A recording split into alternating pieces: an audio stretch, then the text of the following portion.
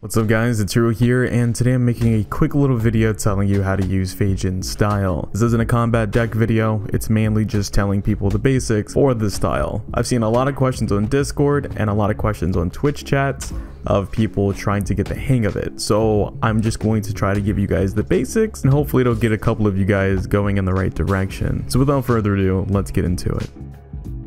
So like every style, Faejin style does have special movements. For top left stance and top right stance, they do the exact same thing, and for bottom left stance and bottom right stance, they do the exact same thing. So with that being said, we're gonna make a quick little reference here. Top stance will be top left, top right, bottom stance will be bottom left, bottom right. So if you push the right analog stick forward when you're in top stance, basically you'll do a stopping attack. The stopping attack can be gold linked into and out of. I highly recommend only doing this move move when you're not in neutral. I recommend gold linking into this move based on the fact that this move doesn't come out as fast as other stopping attacks, which means you're more likely to land it if it's done preemptively or on hyper armor startup.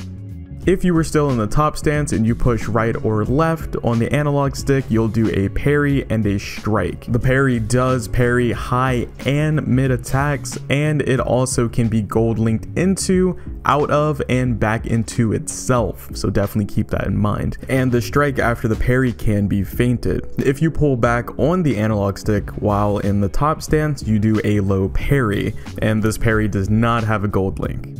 If you are in the bottom stance and you pull left or right on the analog stick, you'll do a windfall dodge. The reason I consider this a dodge and not an avoid is because you do not get that avoid window that you do get with windfall, but you do get shards as if you dodged out of a move. You can also combo with this dodge, but you need to be basically thinking ahead and you can't just do it as if you're playing windfall.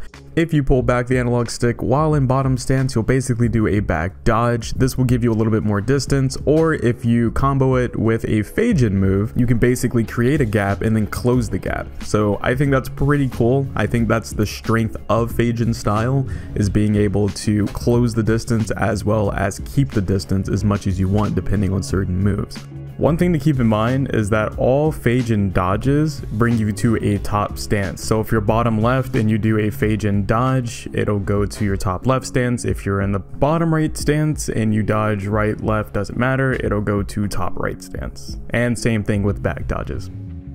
Now my overall summary on Faejin style is that it's more of a novelty style. Well, that's the exact words from a friend of mine, and I completely agree. It's a huge homage to Bruce Lee, which I think is a really cool thing, and I think they got it right. A lot of other games just copy, you know, certain things that he did in like movies and stuff like that, but in this game, you create your own deck, and you basically have the option to include moves that Bruce Lee would have been able to do. So with that being said, I high five slow cap hardcore. Now, I don't think the style is bad by any means whatsoever. I do think it's really good in terms of keeping momentum, and it also does it in style. So I like that on its own. I'll probably stick with it for a little bit, but I don't know if I would main it just based on the fact that I am a stagger main and I love my stagger style. But Faejin style is just that fun to the point where I've been considering maining it. Only based on the fact that to me this is the only style that complements its moves in a very strong fashion. But I don't know. Let me know what you guys think. Are you gonna main it? Do you like this style? Do you wish it wasn't in the game? Let's have a discussion in the comment section. Anyways, I'm gonna try to work on a Faejin deck and make a video with that.